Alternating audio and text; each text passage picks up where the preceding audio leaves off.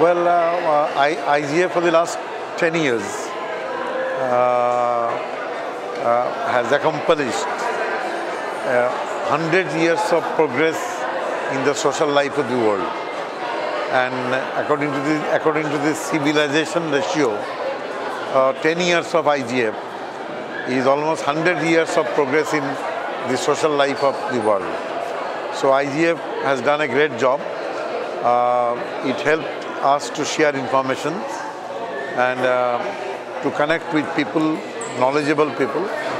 And IGF has put forward certain issues which are, which are now considered by the governments and uh, lawmakers uh, for le legislation and lawmaking.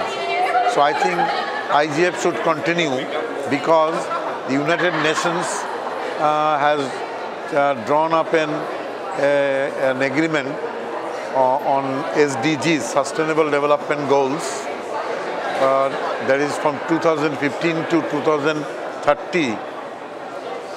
Now, if you want to implement SDGs across the world, then uh, internet will be one of the major important tool uh, for implementation and enhancing the SDG goals.